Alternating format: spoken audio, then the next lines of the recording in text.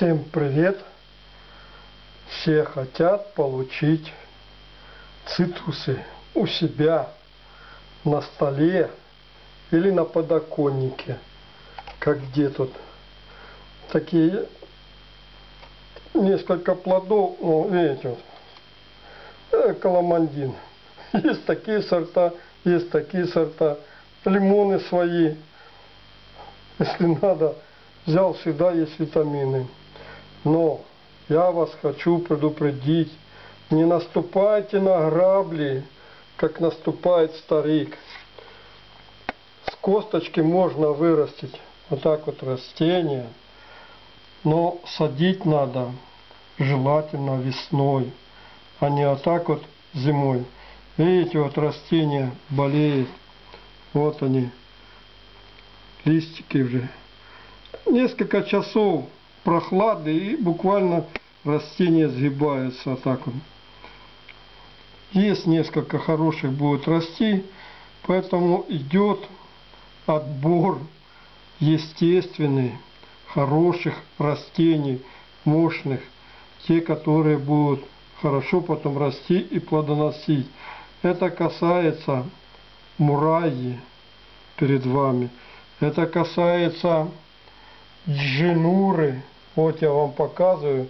Хорошая рассада джинуров. А вот это вот, здесь стоят поближе к окну. Видите, даже один листочек вот джинуры может пустить корень.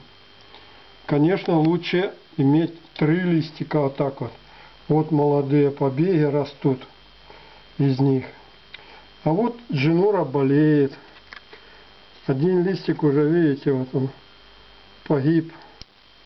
Но стволик еще стоит зеленый, поэтому оставляем его.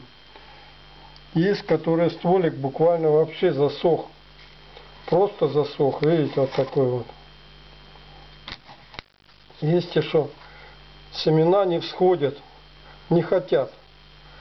Или сгниют, или не вылезут. А вот косточки посаженный лимон. Смотрите какой. Он нормально идет. Вот такие вот и должны быть. Больные, плохие растения никому не нужны. Отбираем самые сильные и оставляем их. Пусть цветут, радуют, как это вот цветущая мурая. Два бутона у нее. Были две ягодки, но вот одна ягодка только завязалась